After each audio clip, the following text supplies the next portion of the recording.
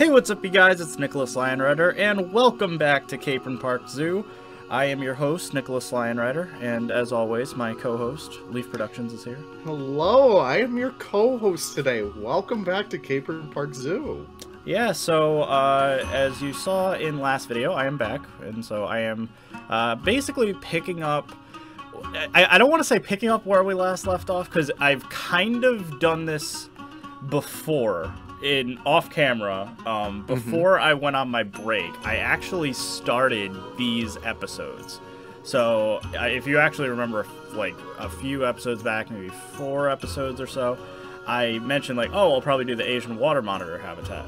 And it's because I did start it at the time, and then obviously I went on my hiatus, and then Leaf took over. He kind of looped around the the back half of the zoo, and so we kind of did a full you know u-turn. You know we've gone through you know the you know llamas sloth bear lions. And now i'm gonna basically backtrack to do the uh, areas that i kind of missed the first time. So that is going to be the silvery cheeked hornbill the asian water monitor and the uh, now unfortunately passed away golden lion tamarin cortez. Mm-hmm. let him rest in peace. He was a very good little tamarin um, Indeed, he was.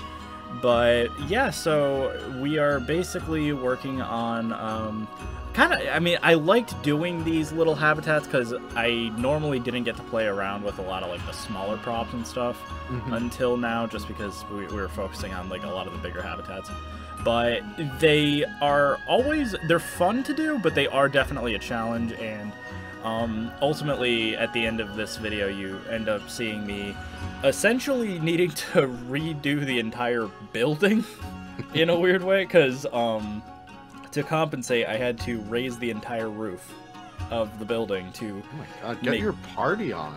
yeah, just to make everything work out. But you know, to start off, I basically wanted to do the first habitat, which is the silvery cheeked hornbill. Funnily enough, it's just labeled as hornbill at the zoo. Um, Had to do a little bit of digging to find out the right species, but that is true. So they have one female, and she is obviously around this time of year not on exhibit because she is a tropical spe- species, so she's backstage.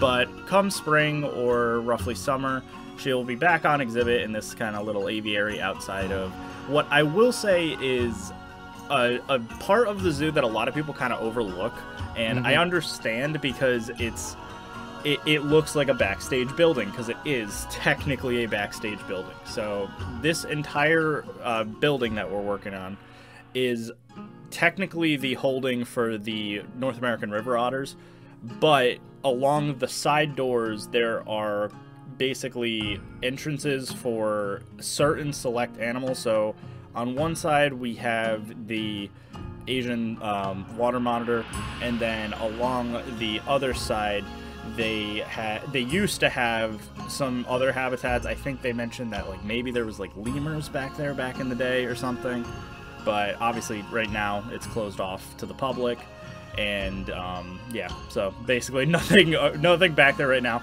Uh, especially because it used to just be like, oh, you get to see the golden lion tamarin. That is also not there anymore, so it is literally just empty right now. I will say, I'm sure they're probably working on it to get it all like. Yeah, they'll probably they'll probably do something because like you know but, I'm sure they'll probably get a replacement for the Tamarin. Like I can't imagine they'll just you know do nothing with that and then oh, you know certain, yeah. there was there was construction and stuff. I'm I'm sure they'll do something back there. I always love sections like these because it really does highlight a lot of smaller animals and I feel like that's such a like crucial part to Capron Park Zoo's like species list because they have a lot of awesome smaller animals, be it like I don't know, the tamarins were a really awesome one, but the lemurs, the serval, everything in like Sadler, everything in like the jungle house. That's like one of the reasons why I love Capron Park Zoo so much is because of the smaller animals. And because of that, a lot of people tend to overlook them, like you said before. Uh, the Tamarin exhibit, the Hornbill, and the Asian Water Monitor, they don't really get too much traction as the rest of the zoo does, but I feel like because of that, you do get some better interactions with the animals. Uh, I remember the last time we actually went with Dill, we were like right there with the Asian water monitor, and he was so active with us. That and that was just a true. really awesome thing to have. So yeah, I think it's a very strong. It point. was roughly um I forget the context of it, but it was like an off afternoon. It was roughly the middle of December, I want to say.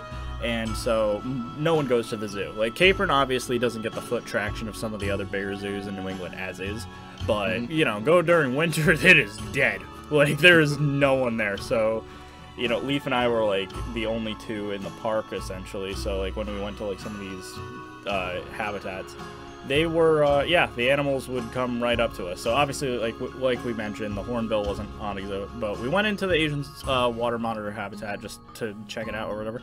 And yeah, he was he went up right up to the glass. He was swimming around. He like you know did a couple of laps around his uh, like enclosure, which. I, you know, I want to save that for like when we get there. I love his enclosure Mm. relative to most other areas in the zoo, and that's just because it's weirdly enough the most themed habitat out of anywhere in Capron for no Oh, yeah. reason. Um, but obviously, you know, continuing uh, with the the hornbill habitat, you know, I was able to play around with like my exhibit prop pack prior to me updating everything. So this was using the old versions of the hitboxes and stuff. So it was Oh, actually harder to build and stuff. And luckily, this isn't a functional habitat, or else, yeah, that would have been really bad because the animals wouldn't have been able to move.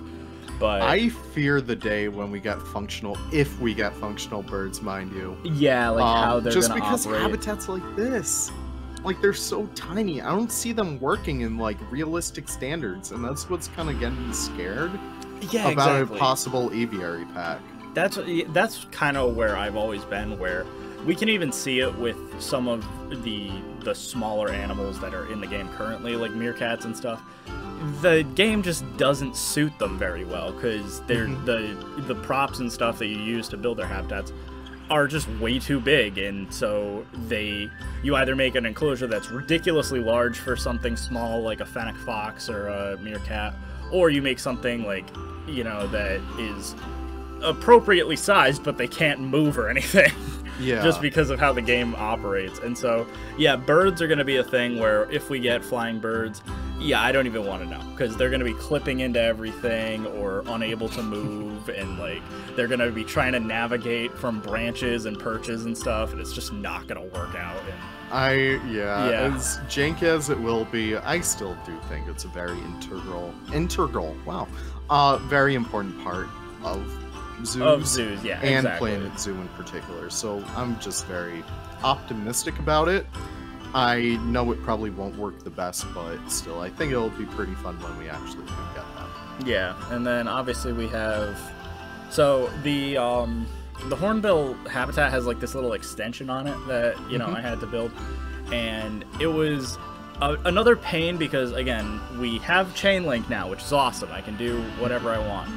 But the issue is, you can see at the top, it's a slanted chain link, so I don't have triangle pieces.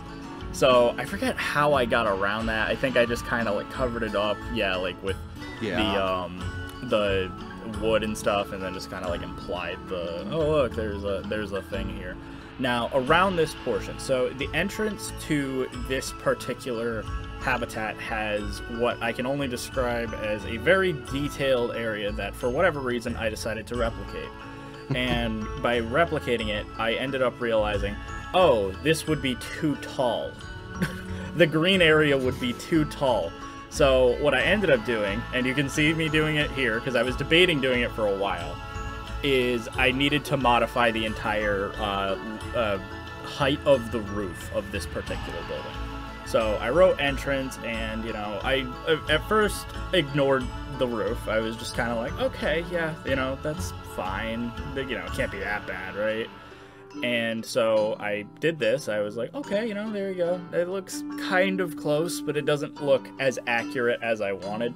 Mhm. And so my my brain just kind of took over, and eventually I'm just like, okay, we're gonna we're gonna fix this entire building, aren't we? And then I don't even want to like I, I used that for some kind of sign. I don't know what it was though.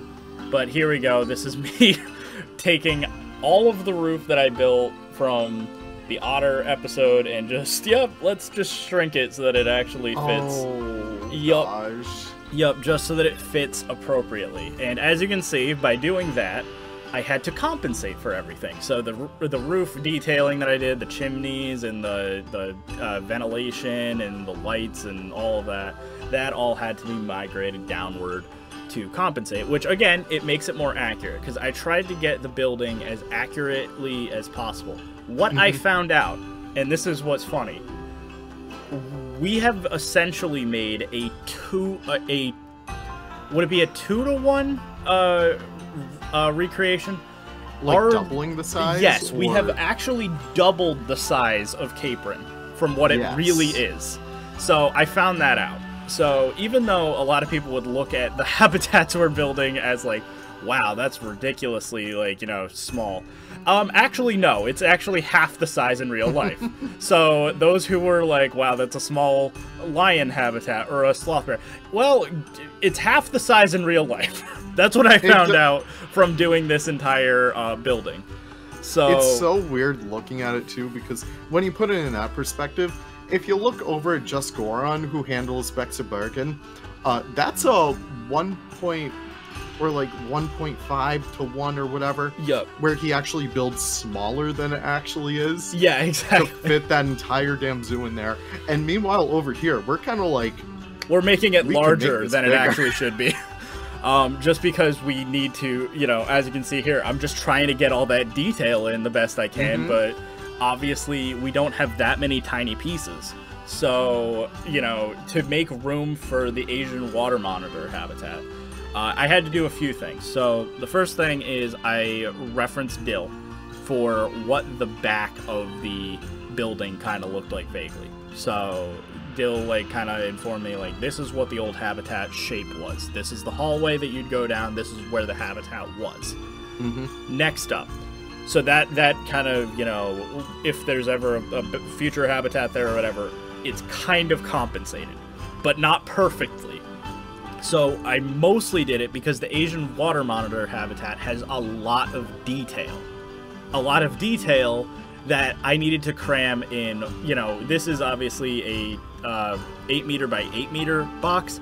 It should be a four meter by four meter box. yeah. So imagine if I took a single wall piece in the game and just made a cube, and I was like, cool, I need to add water and a dock and um, some giant decals and billboards and bricks and all of this stuff that you see. So, like, for instance, we're starting off.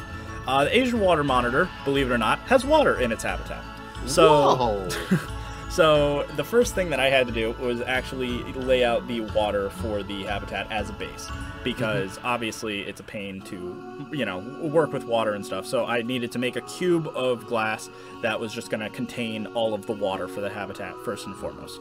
Next up, I actually kind of started doing the um, the viewing platform. So, uh, funnily enough, there's a kind of like a fake tree next to the Asian water monitor habitat that is uh, it was done by Rob. Rob actually showed me his little. He has basically a little tool for sculpting that he he does. Alright. He does trees so often that he made a tool that is the bark texture, and he just rolls it onto the uh, plaster and stuff so that it actually gets the texture. So that's what the tree is made out of. And luckily, the uh, in-game item tree that I feel like not many people use for obvious reasons because it's kind of ugly, it Mhm. worked really well. So that was actually really good. Then to get the wall right, I think I used some of the Jurassic World evolution. I'm sorry, I'm using so many mods, but like to get it right, I was just like, okay. Like if if we're using them, I was just telling Forge this in the uh, Bonita Springs episode. If we're using mods, we gotta go like yeah, extremely hard with all yeah you might as well go all out to you Make know, the use of of stuff. So you saw me just place down a huge chunk of wall. So that entire wall section i know it you know i'm kind of glossing over it for the entire time lapse but i built all of that for uh i want to say seven months ago. Yeah, that entire thing with like the little lizard and the the face and stuff. I built all of this way before you know we were doing you know uh, Capron again. So it was done. I, I want to say before the llama habitat because that's when I started doing it. So obviously, I don't have that recorded because that was from seven months ago. But I hope you forgive me because it was essentially me just making a really detailed wall and adding all of those little decals and stuff that are all over this habitat. So I it guess looks we can. very good for what it is. so we can. being such small scale, yeah. Yeah, exactly. And like I said, that entire thing would have normally needed to be crammed into a single wall piece. Mhm. So forgive me if it's a bit, you know, it's still not that detailed, but it's pretty good compared to what it should be.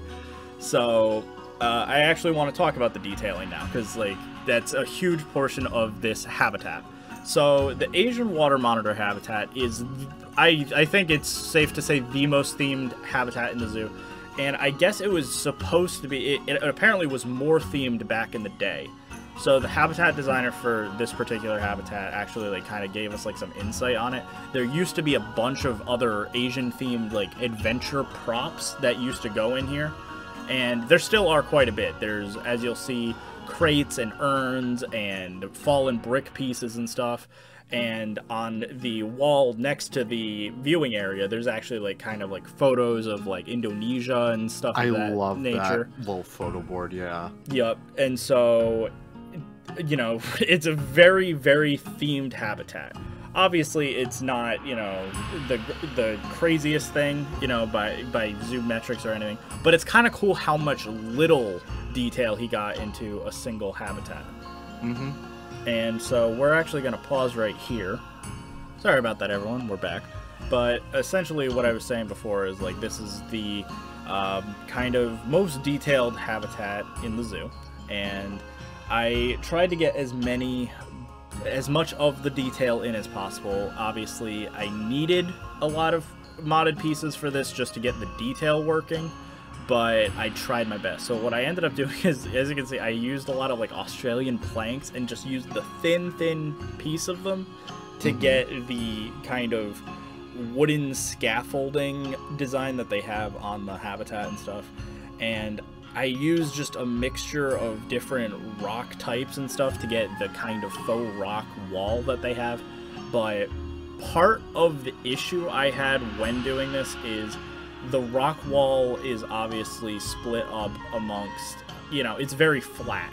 And the other thing is, remember, on the other side of this particular wall is the backstage holding for the otters. So I'm already scared to look over at that. Yep. Now, luckily, I think I have enough room that there is still a trade center, I believe, that, you know, Mhm. accommodates for the otters and the Asian water monitor placement, because, like, obviously I needed to place the monitor in as well. Um, but, you know, it's, it's obviously a bit rough. So, the other thing, I, I finally found a use for that flagstone that I used, or I created for the uh, Jurassic World Evolution mod pack, and it's like just for this like rock wall that they have on the right hand side of the habitat that kind of looks exactly like this, weirdly enough. And so Perfect. it actually worked out pretty well. And then I had to compensate by doing like a couple of different things. Um, because I'm trying, I was trying to get everything right. So at first I was like, okay, um, the Jurassic World one is close, but I want to be even more accurate. So then I decided to do the entire thing brick by brick. Oh my god. So I basically took that Jurassic World Evolution wall and I just remade it, but using I think temple pieces so that it fit in with the other bricks that I had already used from like I said seven months ago. Exactly, yeah. So I, th- I think it does have a lot more charm to it too. yeah exactly. And plus, like the shading on it, it works a lot better for smaller exhibits like this. Yeah, exactly. And then I needed, I think, I, I so I, I built like a little bit of the brick wall, and then I detailed it a bit to like you know fill out Mhm. some of the gaps and stuff. But like I honestly I need to see how much the Asian water monitor mod is going to be able to actually swim around and stuff because it's obviously a lot of different tiny pieces crammed I- into a very small area. I'm yeah, sure I wouldn't can- even count on them moving around. I'm there. guessing it's gonna sit down and just sit there, Yep. and that's it. But you know what? I'm I'm kind of fine with that, just to say that we did it. And you know, I can actually talk about the Asian uh, water monitor a bit because weird enough, it was one of the most fun mods that I worked on for reptiles because Mm-hmm. I didn't have to really worry about changing the normal map or anything of it. It was entirely working on the texturing, which I will say that wasn't fun. so, um, if you're actually a Pride member on my YouTube channel, if uh, I'm gonna be releasing a video kind of soon, probably roughly when this video comes out, that's gonna be a companion episode to this, where I'm gonna show you how I made the Asian water monitor, and it's just a kind of me texturing, you know, video. It's just me going through and individually placing different like ornate patterns for the monitor, just because it was, it's a, it's a very complex creature, so. Uh, I just wanted to throw that out there because that's probably going to be a thing that'll also be going up if, for those who are interested in the modding side of it. Um, back to the habitat. Ivy everywhere, hanging from the ceiling. Like I said, th- there is so much little stuff I crammed into this habitat just to like get it as close as I could. And I was like messing with a mixture of like the construction pieces and foliage and a few new mods and stuff like just to get whatever I could to like kind of emulate what I wanted out of this because there you know um, I forgot about this. So there's also a window between the Asian water monitor and I think it leads out to the hornbill habitat. Oh, so I think it, it it's either that or it's a window into the indoor holding of the hornbill, but it's something kind of like that, where it's like a window that bleeds into a back room where the hornbill is. I think. Um, don't quote me on that. I don't know. But there is a window there, and I actually got to use the emissive wall for once, or uh, piece, because I, I wanted the light to bleed in or whatever, and it actually looks pretty cool. Like as you just saw, that actually looked kind of neat. And normally we don't really get to use stuff like that, but I think it worked out pretty good. And once again, here comes the exhibit prop pack to the rescue, because otherwise I don't think I would have been able to make a heat lamp. So that was very, very useful.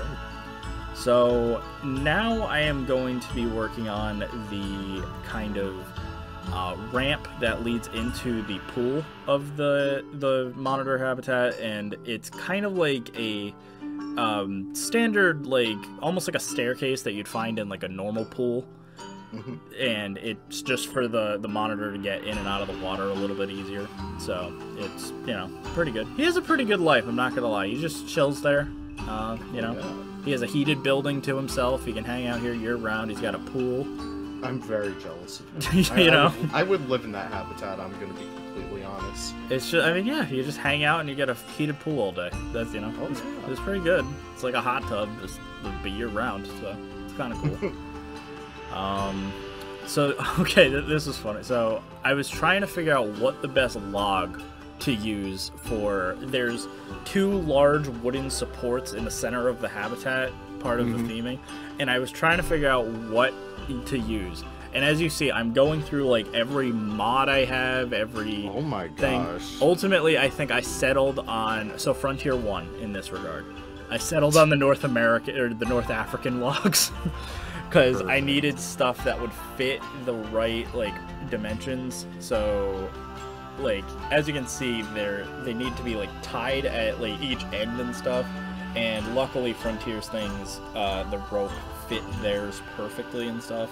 And Okay, can was- I complain really quickly about the rope? Sure. I used to be able to search up a rope. Every single time and get the rope pieces. Ever since the Europe pack came out, it's bugged me Yup. how often I can't get that. That's fair. It's the same thing as um like if you type in like primitive now and you just get the entire alphabet. Oh my god. You know what I mean? Like where they're like, "Oh yeah, hi, primitive pieces." I know you were looking for like rectangles and stuff. How about you get the entire Noto font library and the entire, you know, uh, um, what's the other one? Boogaloo font and stuff. Yeah. I'm Um, sure the mod packs don't really help at all too. No, they I don't. they Uh, the fact that, that you know, obviously Safari Pack added two more fonts, and then I just added another font to Outback Pack. Yeah, no, it's not helpful at all. It's Um, amazing.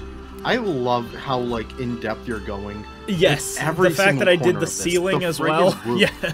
Yeah. And this is where, like, look at how difficult this was.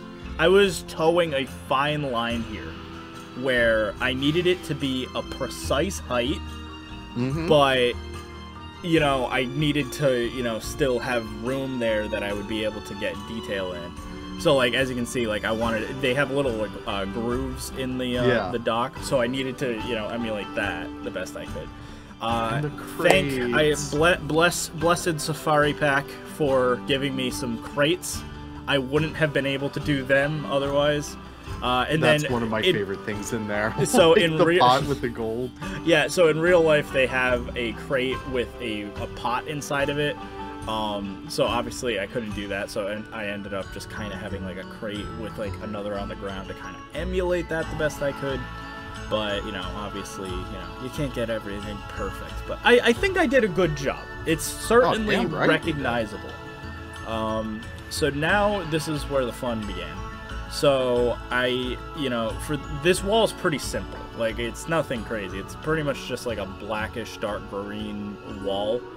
But they have two major things. So the first thing is a custom billboard that I it, this was the most difficult billboard for me to uh, get a picture of because obviously normally I'd be able to you know stand back and get a clean view of the entire thing. But this building is so small. Again it's ha- this is twice the size of it in real life.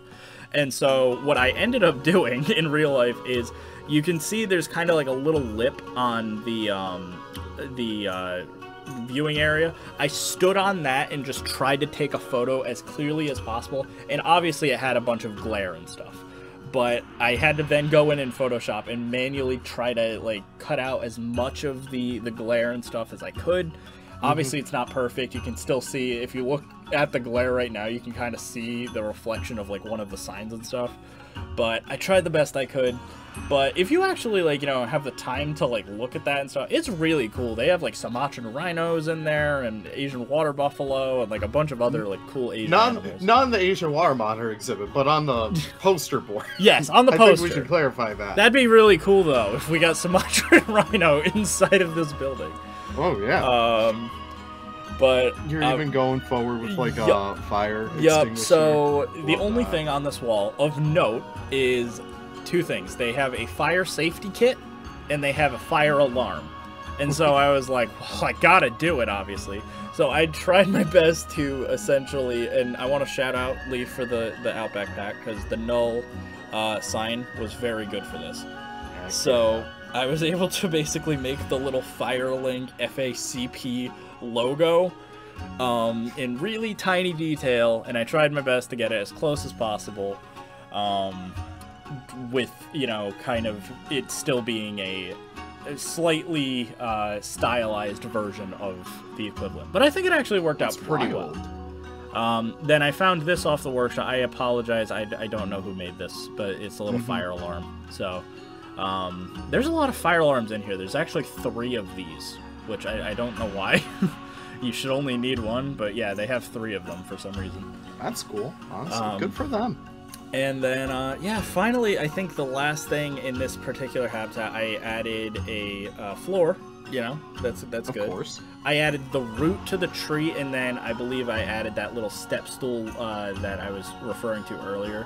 That you know they actually like you know that I stepped on to get this photo.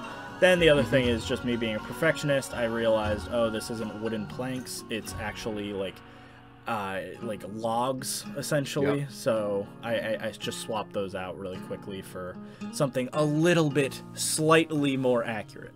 But I will say, uh, I thought I did a good job. It's pretty did, good yeah. for how small this area is, but how much detail I was able to cram into the entire building. So that is, that Mhm. is definitely nice. Um, but yeah, here you go. There's that little step stool lip that I was there talking we about. go. Um, it's for little kids to see over the uh, you know the glass, but you know I or for it. adults to make a zoo retreat. Yes, exactly. Um, And then I, yeah, I, I don't think I did anything else too crazy. I think I just added like a couple of extra little details. Added that little side door, which I believe they used access to get to the otters. Mhm. Um, and then I added a roof to the building so that it all fit uh, nice and tight. And then you can see there, I think the uh, the fire extinguisher or fire warning thing was poking out. So later on, I cover that up. Place down a Steve Irwin to make sure that everything is up to scale. And Always scale, have to. I mean, twice the scale. um, but everything was pretty good. So now here is the fun part. So I had to uh, kind of manipulate this area so that we could get the the correct pathway, Mhm. while also maintaining, you know, I didn't. I needed the mulch and trees to not bleed into the building, and I needed the fire extinguisher to not bleed outside of the building. Perfect. So this is uh, one one of the things that I feel like is kind of um, not talked about much with recreations is when you have a lot of this stuff like tightly compact, trying your best to like hide stuff that shouldn't be like either inside a building or outside a building. Because it's pretty common that you'd have like details like trees and stuff but it's hard to like get leaves to not show up inside of buildings where they shouldn't be or um, in this particular case the fire you know area. I, I forget if i end up removing them outright or if i i think i might have cleverly tried to hide them using a bush but i'm not positive. But anyways basically you know gotta use my brazil nuts because we don't have you know my big oak trees um, and then uh, we are on to our final habitat which uh, wasn't as crazy as the other two and that is the golden lion tamarin habitat for our now you know beloved cortez who passed away um, when did he die i want to say december give or take It was yeah, it was last year definitely. I just forget when exactly. yeah i want to say it was miss him. around december it was in the middle of winter though for sure for sure Mhm. Um, but you know, since this is meant to, this entire recreation is kind of like a time capsule of Capron. I still thought it was appropriate to, you know, do his habitat as it was during the when we went on our reference trip in fall. So from there, I basically made. Uh, all of the little enrichment I did. I liked this. This was cute. I thought um, he had a little bucket that was like blue Oh. for feeding um, and so I, I made it out of gutter pieces so i thought that was nice and i just used a ton of different types of logs and stuff to get all the climbing frames uh, that if there's one thing that i gotta ask frontier for because we always have to ask stuff for stuff just more logs and climbing frames like vines and stuff uh, would be really appreciated and just the Mhm. more vague you can make them the better because right now like our options are kind of slim to none. We have a couple of the wavy vines that you can kind of see me using for the um, i think it's from the african log set. And then past that like they added a couple of new ones which you can see me using here but they're all different sizes they're all different shapes and different textures.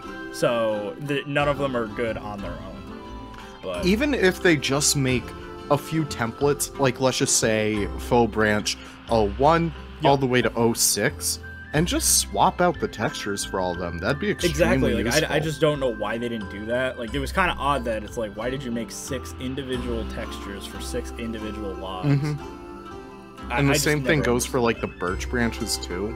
Yep. Just all the pieces are there. I'm more than happy with clones in that regard, yeah, where we get a lot more variety, official variety, mind you. Exactly. But that pretty much brings us to the end of today's episode. So thank you all for watching today's video. If you enjoy it, you know, definitely like, comment, and subscribe.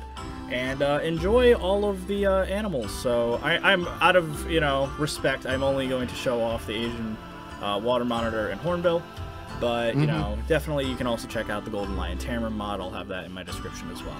So thank you all for watching, and uh, check out Leaf's channel. Uh, Hey. it's in the description. We still haven't Alright, decided awesome. on who the, who's uh, the, doing the next episode yet. So Nope, we still don't. you got to check both. We'll figure check it both. out. We promise. Make sure you're subscribed to both of us, and we, you'll find out then. Oh yes. But Take care, everyone. bye, everyone.